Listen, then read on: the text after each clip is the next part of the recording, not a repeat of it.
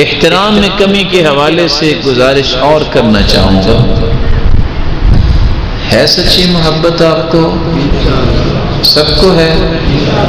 अपने आप को कहा करें, हम अल्लाह के रसूल के मुहिब हैं। क्या है? मुती हैं, इतात करने वाले।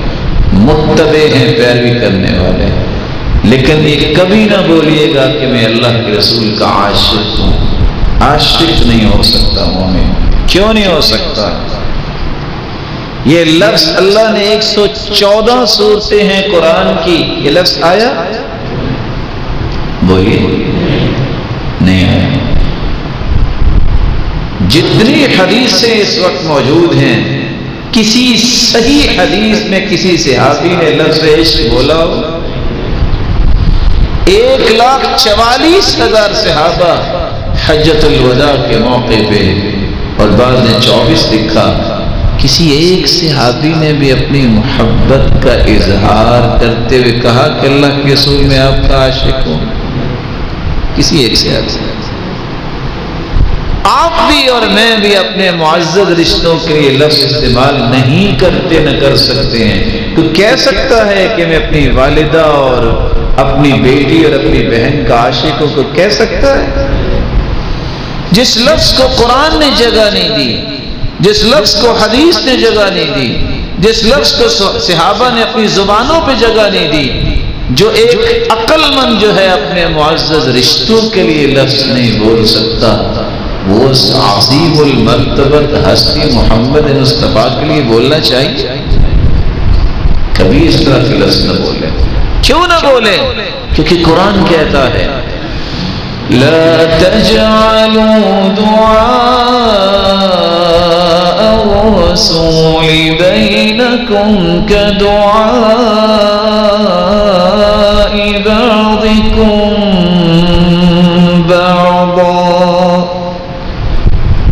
लोगों जिस तरह तुम आपस में गुफ्तु करते हो ये अंदाज मोहम्मद मुस्तफ़ा के साथ ना करना वो बहुत बड़ी हस्ती है उसका एहतराम बजा लाना उसके पास बैठ के ऊँची आवाज़ नहीं निकालनी ये तो आपस में भी इंसान नहीं कहता।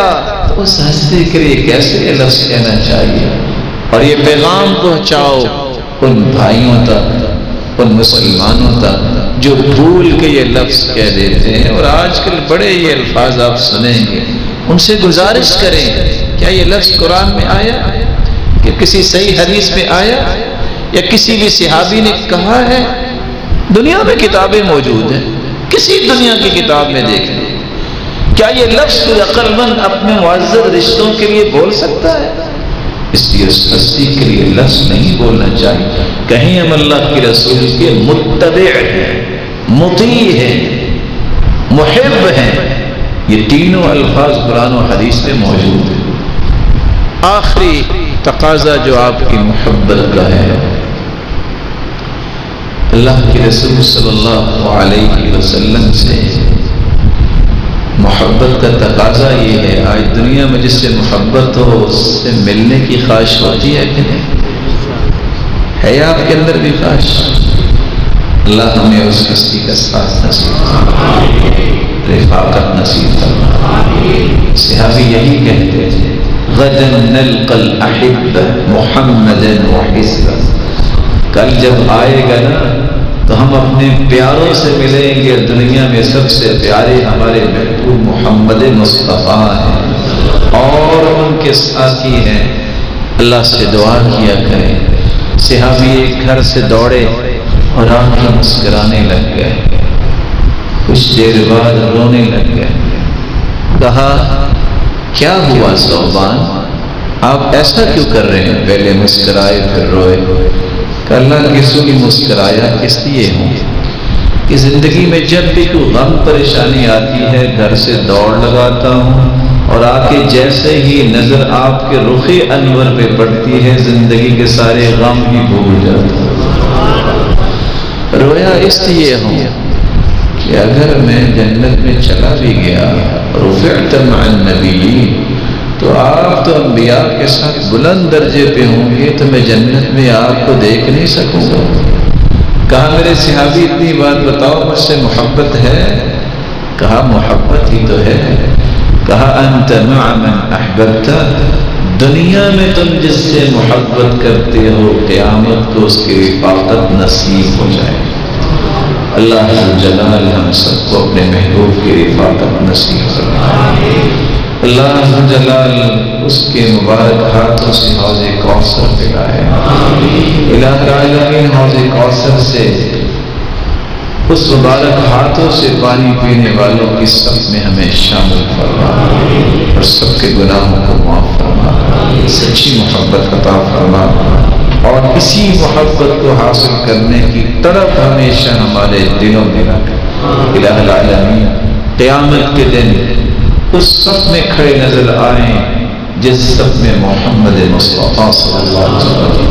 अपने दीदार का मुस्तक बना। वो आखिर दावाना अलहमदिल्ला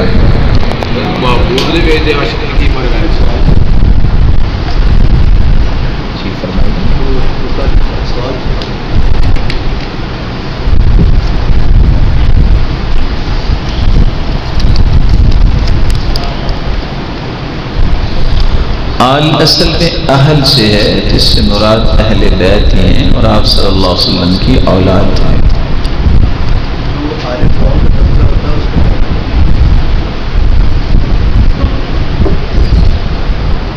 इस्तेमालात जो हैं, जहाँ भी अल्लाह के रसूल सल्लल्लाहु अलैहि वसल्लम के लिए इस्तेमाल हुआ है तो आले फ़िरौन में सबसे पहले तो वो हैं, जो लोग फ़िरौन को मानने वाले थे और उनके अपने थे। बितबा वो सारे के सारे लोग जो उनके मनज को इख्तियार करने वाले तो दूसरी हदीस में इस बात का तस्करा भी मौजूद है कि अल्लाह जलाल के पैगंबर के साथ उन लोगों पे भी अल्लाह अपनी रहमतों का नजूल फरमाते हैं जो आपके दीन को इख्तियार करने वाले